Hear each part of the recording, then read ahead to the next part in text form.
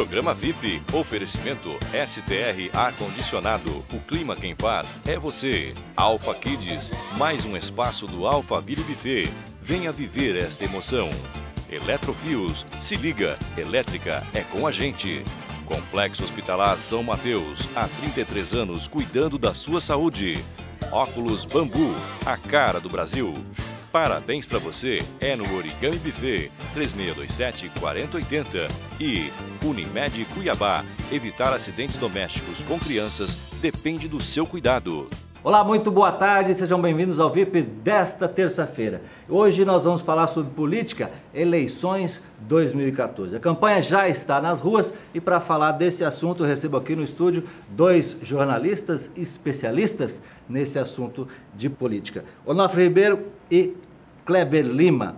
Vamos falar um pouquinho das composições. Nós temos aí praticamente na disputa três candidatos fortes ao governo senador Jaime Campos desistiu da senatória na chapa do Pedro Tax. Como é que vocês estão vendo essa movimentação política logo no início de campanha? Nós tínhamos duas candidaturas fortes, vindo uma do senador Pedro Tax, que se, se colocando como oposição, e do, Sena, e do Lúdio, Lúdio Cabral se colocando como oposição, como situação.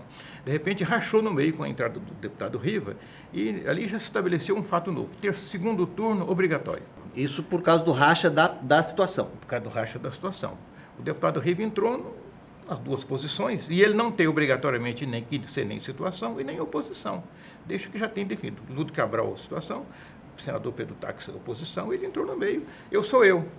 As pesquisas que vinham sendo divulgadas, Kleber, você que é especialista em decifrar uma pesquisa, você acredita que o jogo está zerado? Hoje, terça-feira, nós estamos exatamente nos primeiros 30 dias de, de, de, eleição. Né?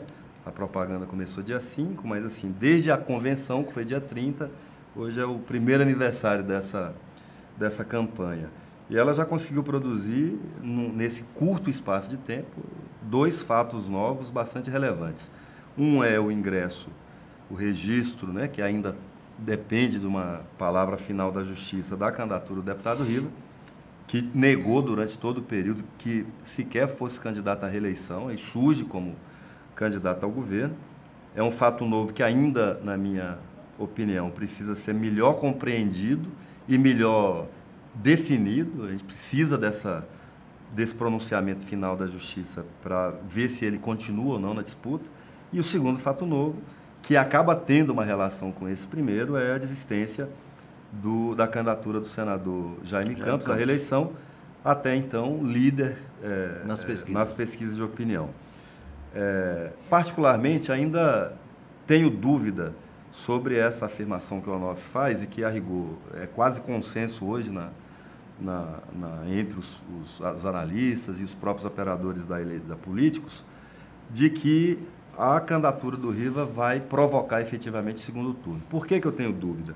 Porque, como já foi dito aqui, o Riva, num primeiro momento, ele busca espaço dentro do projeto do Lúdio Cabral. Quer dizer, quem mais perdeu do ponto de vista eleitoral para eh, o Riva até agora foi o Lúdio, né? E do ponto de vista político também, porque o Riva conseguiu a proeza nesses 30 dias de polarizar o debate com Pedro Táxi. Ninguém ouve mais falar no Lúdio. Com a desistência do Jaime, aqueles candidatos, pré-candidatos, que eram mais ligados ao DEM e, e, ao Jaime, debandam, né, por assim dizer, a, a, abandonam o projeto do Pedro Táxi para se juntar ao projeto do Riva. Exceto esses, eu não vejo, na realidade, nas pesquisas, ainda uma mudança do eleitor, daquele eleitor que tinha a intenção de votar no Pedro Táxi, se bandeando para o Riva. Eu acho que são eleitores é, que não migram é, desses polos, porque eles representam, como eu já tive a oportunidade de dizer, polos muito antagônicos. Né? O, o, o arquétipo, a representação simbólica do Pedro Táxi, ele seria o mocinho dessa, dessa disputa, o xerife, enquanto o Riva é, assume esse, esse símbolo do, do, do mal a ser combatido. Né? Eu acho, me permito, Kleber, uma coisa muito interessante, mais do ponto de vista sociológico. Esta eleição define efetivamente dois Mato Grossos, o da capital e do interior. Na eleição de 2010, me lembro quando a apuração, eu estava lá no, lá no centro de eventos do Pantanal, a apuração vinha, quando estava apurando Cuiabá, o Mauro disparou. E todo mundo já aplaudia a eleição como ganha, e o Silval quieto. Quando a eleição veio do interior, ele passou o Mauro Mendes e ganhou a eleição. Nessa sua linha, o, de, o candidato Zé Riva leva vantagem sobre os demais candidatos. Ah, não há dúvida, no interior, no interior. Por causa da, a relação é outra. O, por causa da força do interior. Eu acho que nós vamos ter uma eleição do interior e capital. Que no futuro vai dar algum tipo de resposta. Não sei o que vai dar no futuro. E nós não conhecemos nem do marketing da eleição. A mídia social, você acredita que vai ser decisiva nessas eleições? Exemplo, é, com a saída do Jaime Campos, da, da, da coligação do táxi, se criou-se criou -se uma pecha de traição, Diz que ele foi traído pelo grupo, enfim. É, mas mesmo assim ele não, ele não acusa o táxi. Ele fala de membros da coligação estavam o traindo, ele não cita o táxi em, em momento algum. Mas os marqueteiros do lado de lá já estão tentando pregar aí a, a, o rótulo de, de traidor no, no táxi. Você acha que isso pega a mídia social? Tem força? A mídia social ela é uma força muito grande, mas ela pega um tipo de público. Ela e hoje está se jogando demais nas mídias sociais. Ainda não se achou uma linguagem e você recebe milhões de coisas por dia e a maioria fabricada. Então a mídia social ainda não alcançou um nível de maturidade para ter uma credibilidade definida. Ela ajuda muito. Mas nesta eleição ainda, nós vamos ter uma parte relativa, não sei se o Kleber concorda, que ele está numa posição política hoje muito importante na prefeitura, ele está avaliando mais do que eu, que estou mais como estudioso aqui fora. É, o Kleber, o Kleber Lima é o atual secretário de comunicação da prefeitura de Cuiabá. Então, eu entendo que a, a, as mídias sociais ainda não, nesta eleição, ainda não serão o, defini, o divisor de água, mas na próxima eleição de prefeito já serão o divisor de águas. Porque tem uma camada jovem aí, aquela camada que foi à rua em 2013, os jovens que foram, eles se movimentavam por onde? Pelas mídias sociais, eles criaram a imprensa ninja. Cuja liderança hoje está presa, né? Ou criminalizada é, também, é, né? Que deu uma esvaziada naquilo, mas a, né? Mas a, a, a, indignação que os levou à rua não morreu, não, ela está represada. A liderança sim, né? Eu tenho muito mais medo da coisa represada do que da coisa solta. A coisa solta você conhece e lida com ela, é. a represada não. Tem aí no ar uma coisa assim. Mas eu acredito que na eleição de dois, o ano que vem já começa a manipular a eleição de 2014, 16 de prefeito, aí as mídias sociais já terão um nível mais, de mais credibilidade. E nessa eleição ainda, ainda não serão apesar da importância que tem, não serão grande, a grande mídia, não. Kleber, você como secretário de comunicação da Prefeitura Municipal, como é que você vê a atuação do prefeito, do prefeito Mauro Mendes nessas eleições? Até porque ele é presidente é, do partido aliado ao, ao Pedro Tax e está se envolvendo bastante é um dos comandantes, um dos coordenadores da campanha do táxi. Como é que você vê? Vê com benefício para a campanha do táxi? Pode atrapalhar? Você acha que ele está se expondo demais? Mas você responde isso no próximo bloco, logo após o nosso intervalo comercial. Até já.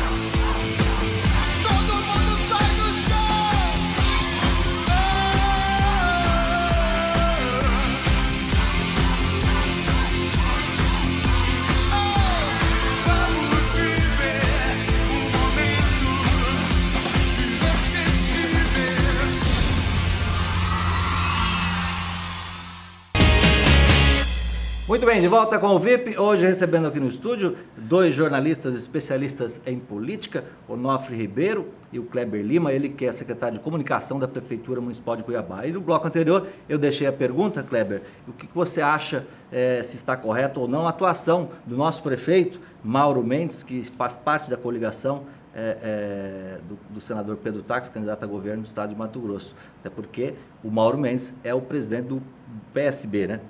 Perfeito. O, o, além disso, o prefeito Mauro Mendes ele vem de três disputas eleitorais consecutivas, nos últimos seis anos. Então, ele, em função dessas três disputas e do fato de exercer hoje o mandato na maior cidade do estado, é, e que é uma cidade que acaba eh, tendo uma relação com todo o Estado é, na saúde, na educação, é, a integração hoje de Cuiabá com, com o Estado de Mato Grosso, ela é muito maior do que foi 20 anos atrás, por exemplo, quando eu me mudei para cá, 26 anos, vindo de Barra do Garças, que está no Araguaia, é uma região que estava de costas para Cuiabá. Tudo era Goiânia, né? O Onof sabe disso, está aqui há mais tempo. E hoje isso já está bastante alterado. Se a gente não está completamente de frente um para o outro, para todas as regiões do estado, mas no mínimo de lado, sinalizando é, é, essa integração hoje é muito maior. Além disso, é, o prefeito Mauro Mendes atribuíram a ele até, eu, eu, avalio, em determinados momentos dessas definições, uma importância até maior do que é, ele deveria exercer, uma vez que ele não é candidato. Há uma tentativa clara dos grupos opositores ao senador Pedro Tax de, de atacar pelos flancos, né, que é uma estratégia eleitoral clássica, já antiga. Por quê? Porque se você for avaliar bem, o, o senador Pedro Tax nunca exerceu uma função executiva. Então, para você avaliar o desempenho é, executivo do Pedro Tax, você não tem por onde pegar. Quem é o principal aliado é, do Pedro Tax hoje? É Mauro. o Mauro Mendes. É, então, talvez seja essa uma estratégia já definida pela, pela oposição, tanto pelo Lúdio como pelo Riva, de tentar atacar o Pedro pelos flancos. Isso é, depende. Se a aprovação, se, o se a aprovação do prefeito está muito boa, esse, essa estratégia pode dar com os burros na água. Se ela estiver ruim, ela pode ter algum êxito, né? Eu queria é, só voltar um pouquinho na, no debate da, do bloco anterior, Nof. Se nós vamos ter uma eleição cujo debate será capital versus interior ou bem contra o mal, isso vai muito da habilidade que os candidatos terão de incutir essa pauta, de estabelecer essa pauta. Em relação a, essa, é, é, a essa, esse confronto interior-capital, se a gente pegar, Onofre, o, o, os exemplos que você deu de cidades do interior, você vai ver que nessas cidades praticamente não tem votos. É, não é necessariamente verdade que é, ele representa todo o interior do Estado. Ele representa aquele interior, e eu concordo, porque é verdade, né? aquele interior mais distante, de cidades menores, cidades com menos de 10 mil eleitores e até habitantes, é onde ele mais, que a gente costuma chamar em política de grotão, né? é onde ele mais consegue ter um desempenho é, é, expressivo. É, essa cidade, se a gente pega hoje, Onofre, as 50 maiores cidades de Mato Grosso, Eduardo e seu telespectador, elas representam hoje 80% da população de Mato Grosso. Ontem divulgaram uma pesquisa que o Lúdio já ultrapassou o táxi na capital. Eu não vi, você tinha me provocado sobre pesquisa antes, assim, num momento como esse, e para nós que profissionais de comunicação e marketing, e inclusive para os candidatos, o que menos importa na pesquisa é o número final da intenção de votos. Você tem uma série de informações que a pesquisa traz que, sem analisá-las, você não pode é, dizer se a pesquisa está, é, está correta.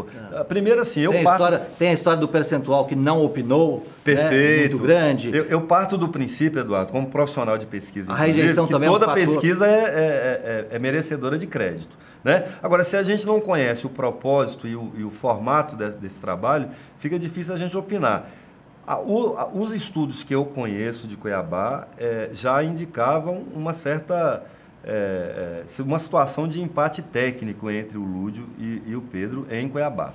Bom, Onofre, é, para fechar o programa, nosso tempo aqui é bem curtinho, não é? A, a, a, o, o, caso da saída do Jaime ao Senado, você acha que agora caiu no colo para o Wellington Fagundes essa, essa campanha senador? Eu não sei ainda quem é que está mais provável de ser escolhido na substituição do Jaime. Na verdade, eles não têm ainda né, uma definição.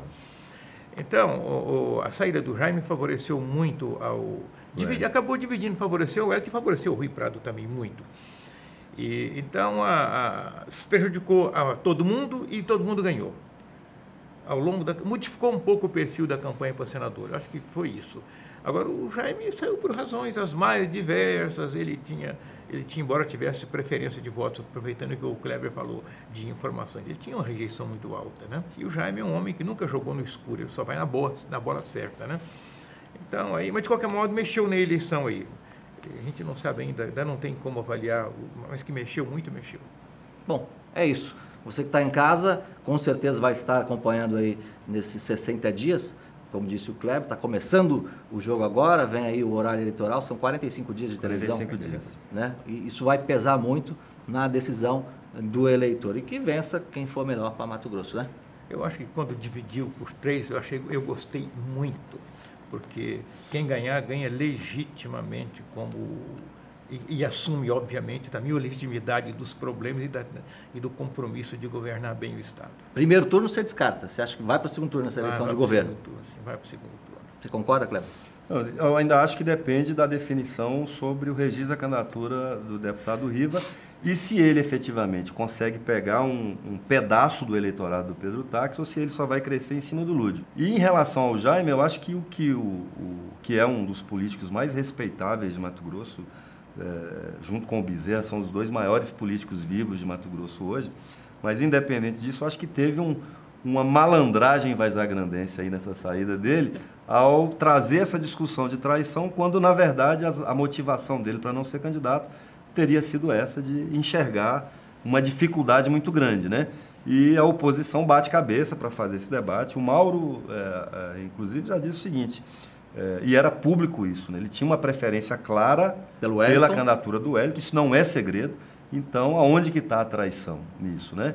É, e o Jaime, na verdade, é, é, desistiu antes da briga começar. Nesse assunto, o Jaime, na saída, foi craque, né? que ele saiu escondendo a, a, motivação real. Deixou o debate. E deixou um defunto aí na sala para os que ficaram ainda na disputa, tentando ver quem é o, quem, quem é o responsável por ele. Bom, a dica para você que está em casa é a seguinte: é muito importante escolher bem os seus candidatos a deputado federal, também os candidatos a deputado estadual, porque nenhum governo, e senador também, porque nenhum governo ele consegue fazer um bom governo se ele não tiver é, uma maioria que o ajude a governar. Né? Se tiver uma, uma oposição muito ferrenha, nenhum governo consegue governar. Então, para isso, a, a, nossa responsabilidade como e sem eleitor... Sem oposição nenhuma também é muito ruim. Também é muito, ruim. ruim. É. A nossa responsabilidade como eleitor... É, é. Quando é... não tem oposição, erra mais do que quando tem oposição. Ah, é escolher bem os candidatos que vão nos representar. Falar que você não vai se envolver com política, você não gosta de política, isso é balela, porque nossa vida, a vida de nós todos, a sua, ela é pautada pela política, a política que resolve é. É, o que será de nossas vidas. Os que participam decidem pelos que não participam, né? Então é, é melhor participar. É isso. Obrigado pela audiência e até o próximo programa. Tchau. Programa VIP, oferecimento STR Ar-Condicionado. O clima quem faz é você. Alfa Mais um espaço do Alphaville Buffet. Venha viver esta emoção. Eletrofios, se liga, elétrica é com a gente. Complexo Hospitalar São Mateus, há 33 anos cuidando da sua saúde. Óculos Bambu, a cara do Brasil. Parabéns para você, é no Origami Buffet, 3627-4080. E Unimed Cuiabá, evitar acidentes domésticos com crianças depende do seu cuidado.